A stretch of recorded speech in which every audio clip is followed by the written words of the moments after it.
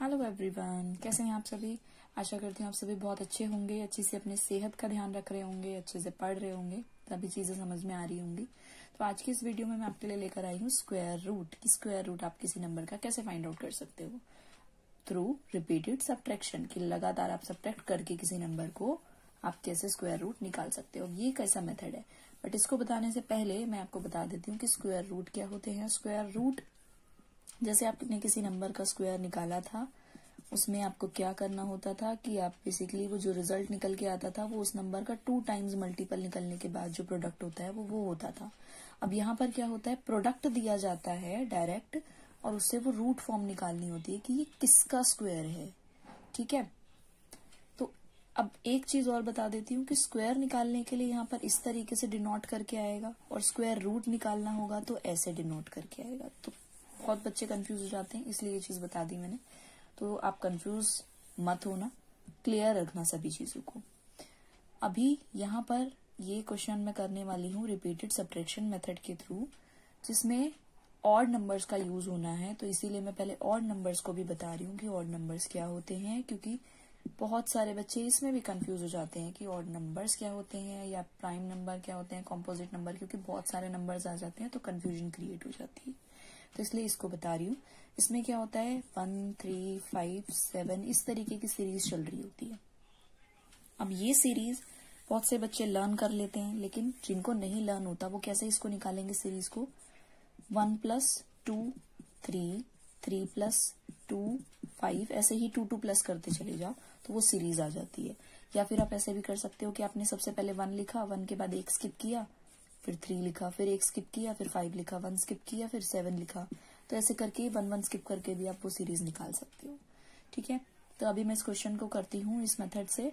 64 मैंने लिया, सबसे पहले हम वही नंबर लेंगे जो हमें स्क्वायर रूट निकालने के लिए दिया हुआ है। वो नंबर हमने लिया, उसमें से फ़र्स्ट जो हमारा ऑड नंबर होगा, उसको सब्ट्रैक्ट करेंगे।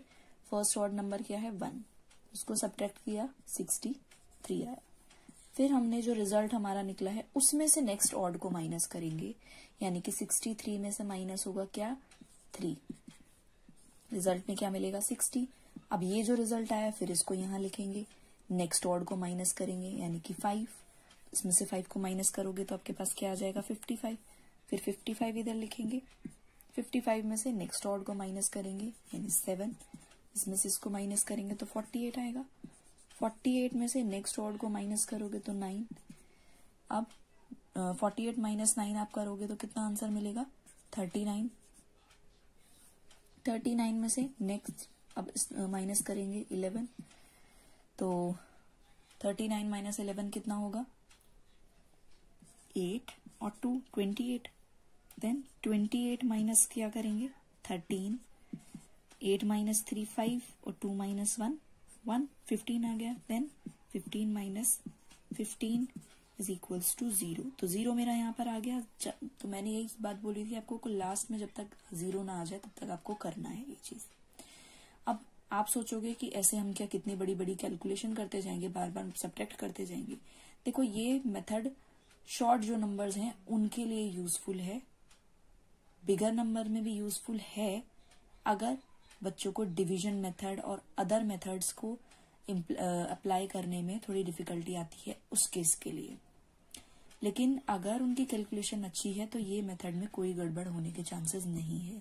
लेकिन अगर उनकी थोड़ी सी भी गड़बड़ हो जाती है, जैसे आप मैंने मान लो यहाँ पे नाइन की जगह आपने इलेवन ले लिया डायरेक्ट या फिर टेन ले लिया यहाँ पर तो फिर वो गड़बड़ हो सकती है, फिर वो डबल टाइम लग जाता है। तो इसलिए ध्यान रखना लास्ट में अब ज़ीरो आ गया।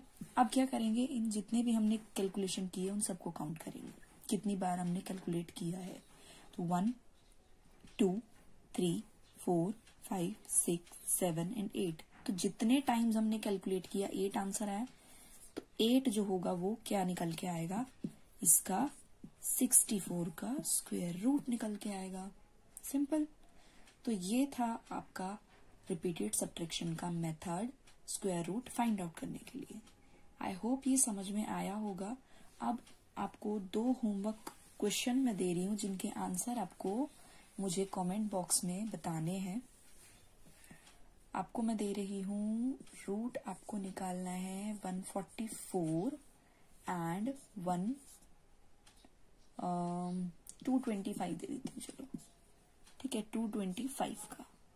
तो ये आपको फाइंड आउट करके बताने हैं। और अपने ही जैसे और बच्चों के साथ शेयर कर देना, ताकि उनको भी ये मेथड अच्छे से समझ आ पाए और वो लोग इसका यूज़ कर पाए, उनको अच्छे से इस मेथड का यूज़ समझ में आ जाए और उनके लिए हेल्पफुल हो। So thank for watching thank you